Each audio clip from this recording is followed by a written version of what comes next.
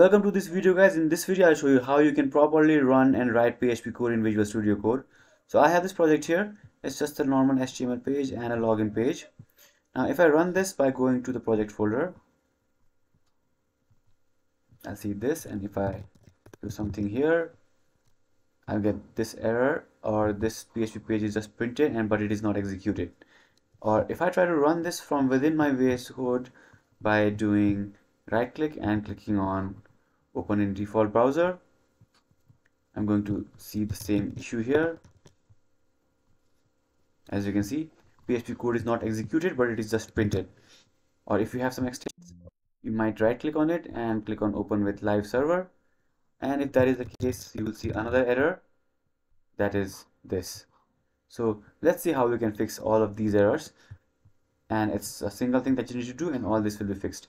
Now this is occurring because our browser doesn't know or our server doesn't know what to do with the PHP code.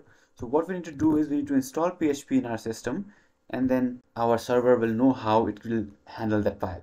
So first we need to go to this URL you can click on the link in the description below and you'll be taken to this page. And if you're on Windows just click on this zip file or this zip file anything will do. So I'll click on this zip for now. And let's wait till this is downloaded so once this is downloaded we need to move this to another folder. So I'll just move it to my this folder here and paste it here. Click on continue. And once this is here right click on this and let's click on extract all. And let's change this folder name to just php because we will need to use this. Click on extract. And let's wait till everything is extracted. And now we have our php here so php is some setup here. Now what we need to do is we need to go inside this folder and copy this and we need to add this to our environment variable so that our php files can be executed. So press windows and search for environment variables. Click on environment variables. Double click on this path here. And here click on new and paste our path here and click on ok click on ok again click on ok again and finally let's go to our vs code. Now i have a php code here and i have an html page here. So my login credentials are handled by the php page this. So now go to this extensions and search for php server. Search again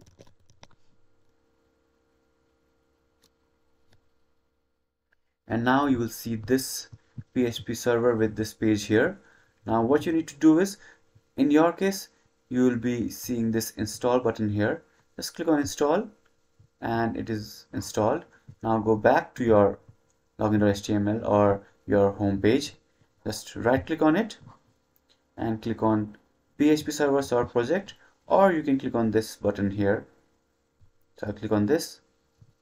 And now we have our page open here so now if I write username and password and hit enter as you can see we are inside our welcome page.